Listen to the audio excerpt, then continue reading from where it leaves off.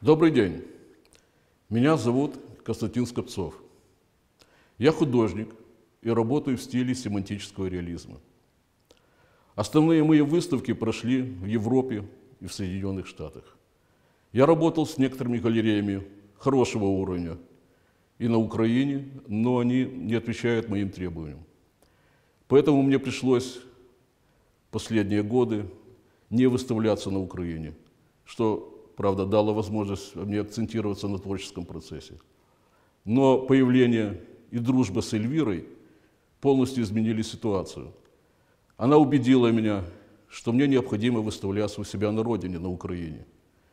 И э, она блестящий продюсер. Мне очень удобно с ней работать, и я счастлив с ней работать, потому что все бремя организационных работ и переговоров с покупателем она берет на себя.